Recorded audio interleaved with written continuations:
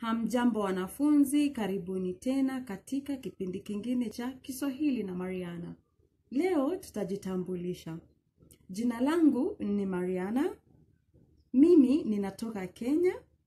Mimi ninaishi Nairobi.